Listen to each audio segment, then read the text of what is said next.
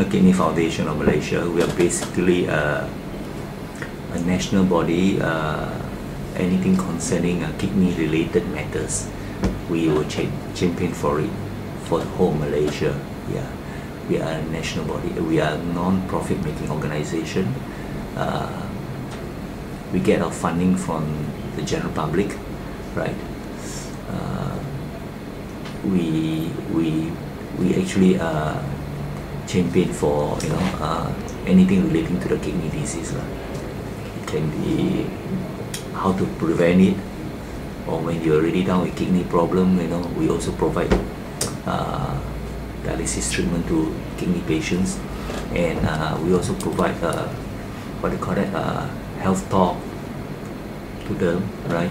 And also uh, provide any information that the Malaysian pub- public wants to know about kidney. It can be things like uh, kidney matters, uh, kidney information in other part of the world.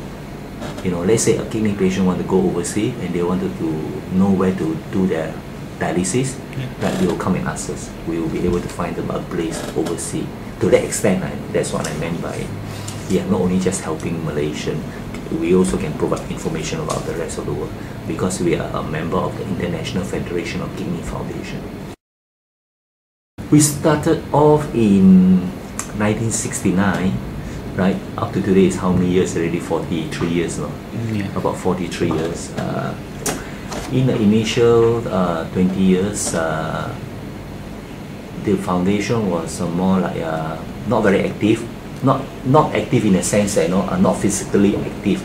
What I mean is that you know, we got our own building, things like that. You know, last time, it's more on uh, promoting to Malaysians about the danger of kidney disease. Then it's only after the after the first 20 years we started off our first dialysis center in Kuala Lumpur. Right. Then as time goes by, you know, we expanded, and now we got 28 dialysis center. Any patient that want to come into our dialysis center, they have to go through our welfare department. Our welfare department will do the assessment whether the patient is really poor or not. Right? If they are not poor, we won't accept them. If they are poor, we, we will bring them in. Right? You know, they only need to pay a certain sum of money. Right? And if they can't really pay, we will subsidize maybe partially. But for those really hardcore poor, those real, those are really really poor one, will fully subsidize their their their treatment. Yeah.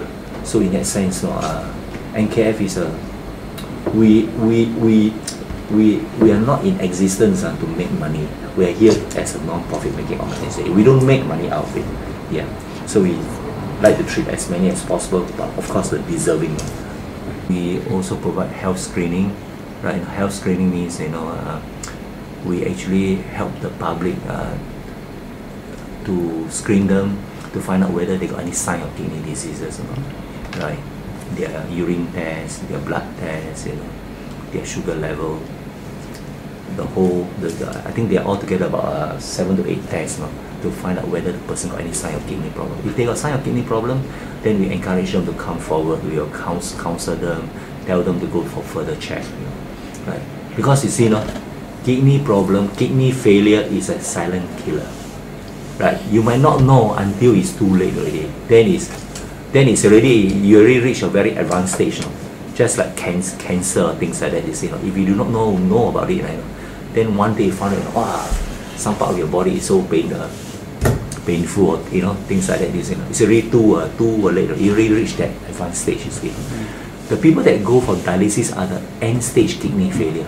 These are the people, uh, their kidneys, uh, is only about five to ten percent working. 90 about about 90 percent will really fail. Right. Once the kidney fail, uh, there is no more cure. You cannot you cannot repair it anymore. Right. You just have to go for dialysis. Dialysis is actually a life sustaining uh, treatment to keep you alive. You know. And if you don't go for dialysis after a while, you also die. You know. a kidney patient goes for dialysis. Uh, three times a week, each time is four hours, every other every other day for the rest of their life.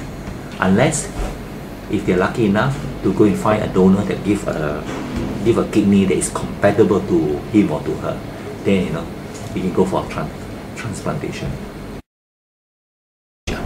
Yes, it's, it's getting uh, more and more patients, uh, uh, people in Malaysia getting kidney failure uh, because our uh, people suffering from diabetes is very high.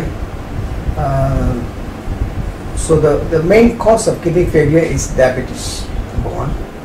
Say about say about about 58 percent of the patients, about 58 percent uh, kidney failure is because of diabetes. And diabetes is number one in Malaysia, among the Malaysians in the world because of uh, kidney, uh, diabetes, obesity. Obesity will lead to diabetes, and diabetes will lead to kidney failure. The main cause of diabetes the main cause. Number two cause is uh, hypertension, blood pressure. About 30% of the patients uh, of uh, hypertensive end up as a complication of diabetes uh, and blood pressure, the kidney failure. First, I cannot so always want to vomit. Huh? Got vomit, then uh, sometimes want to touch motion, cannot touch. So uh, my leg uh, and face uh, so It's only when you when you when you when you see people down with this kind of illness, right, know, then you really appreciate you know, how much they have to suffer, right? You know. As I said earlier, when people are down with uh, end-stage kidney failure, their problem is so traumatic. Not, not only that, they have to suffer for the rest of their life.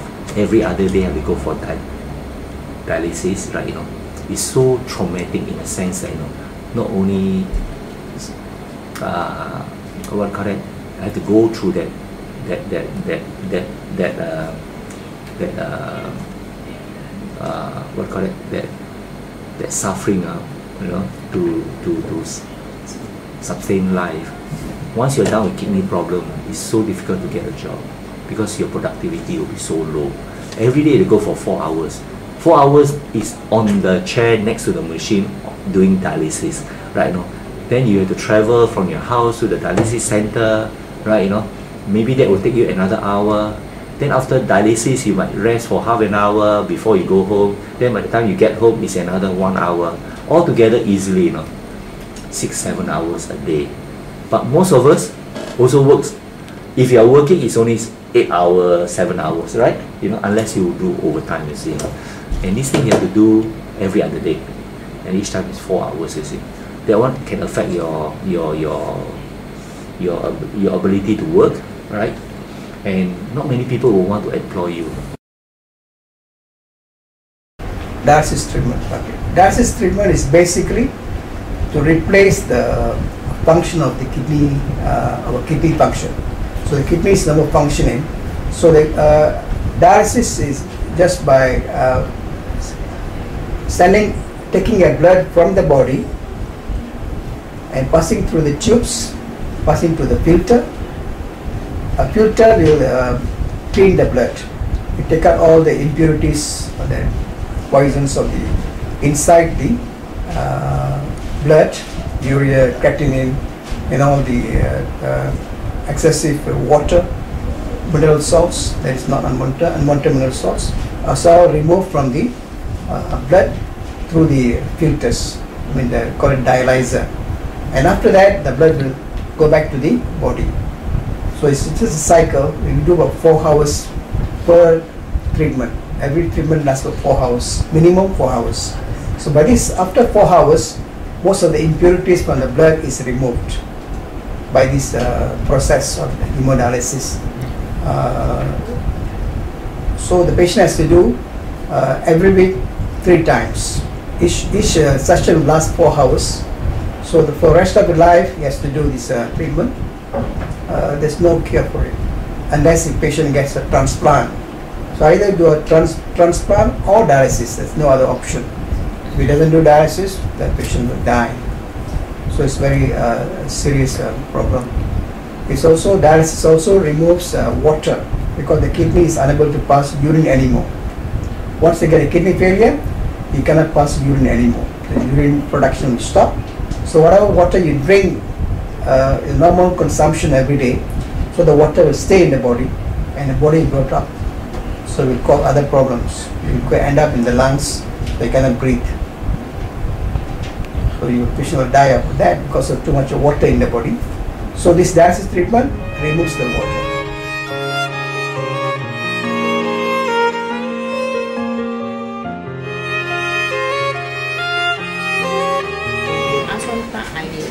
At first I admit Assunta one year, but I cannot stand at first two times lah. So the doctor said must be two times only the blood only clean lah.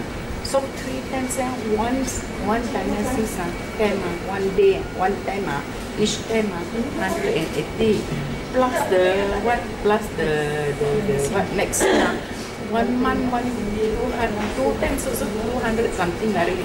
So three times ah, so much money ma. I say that got so much money. I'm a not say rich woman lah.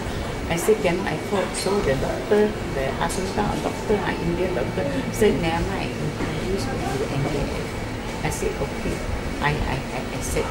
So he introduced me to NKF. The doctor is Indian doctor. Uh, introduce here. Now six years already I do. That. Ah. So NKF is I come here and they they all very good. the lifestyle, lifestyle modification like some uh, obesity. You can prevent obesity, then you don't get diabetes. You get don't get diabetes, you won't get kidney failure. So it's, it's also related. So the obesity and the lifestyle, the lifestyle, active lifestyle, and then uh, uh, the food intake, fast food, all that. Uh, you avoid all this fast food, salty food. So all this will lead to uh, either diabetes or blood pressure. We can this prevent these two things. The most important disease are diabetes and uh, hypertension. Then uh, you can uh, prevent kidney failure. The last word to the public is that, uh, or even to to you guys, right, to young people, please take care of your health, right? Eat healthily, right? Don't consume too much of sugar, salt, you know, because these are the things that is not good for your health. The number one cause causes of uh, dialysis, uh, of uh, of uh, kidney failure is diabetes. Yeah, too much sugar can lead to kidney failure. Yeah. So lead a healthy lifestyle, exercise regularly, you know, things like that. Okay? Active lifestyle, uh, maintain your normal body weight, BMI. Uh, you can maintain body weight uh, in relation to your height. Uh, height. You get a BMI good with BMI. Uh, maintain a healthy lifestyle, not to get diabetes, blood pressure, uh, hypertension. Then you'll be okay. Then be healthy as uh, normal. I think that's uh, important. Yeah, say if like don't worry so much if got kidney failure, got to come and dialysis. Come and dialysis, ah, you don't keep, don't want to dialysis. If don't to dialysis, cannot stand long one. So ah, they help people ah, is like, God already got to come to dialysis. See where your house nearby there, like NKF got a lot but branch one. So other places also, other places also like Penang, Penang also got free.